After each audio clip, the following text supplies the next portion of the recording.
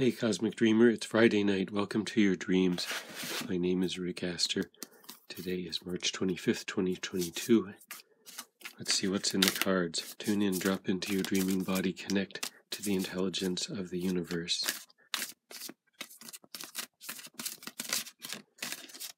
From the Untold Truths of the Heart Oracle, the first card on the Dream Drum tonight is Only You.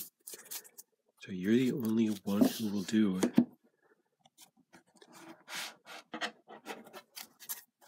This could be someone's opinion, or this could be the fact of a particular goal or objective that you're aware of.